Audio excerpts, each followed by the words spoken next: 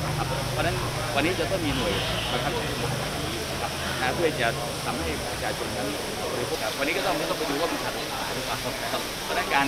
เอ่อในฐานะรับผิดชอบของอาชญากรรทางเทคโนโลยีเนี่ยเราก็ต้องเอากฎหมายมาเป็นเรื่องนะครับนะ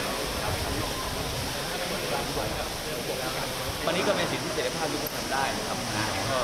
เอ่อก็เป็นเรื่องการแสดออกนนะครับนะวันนี้